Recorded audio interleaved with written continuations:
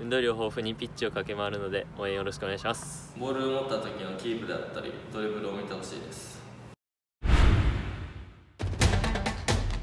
背番号28番金間直樹です。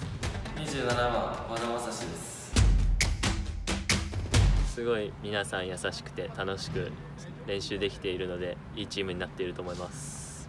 ベテランの方もすごい馴染みやすい雰囲気を作ってくれていて楽しくやれてます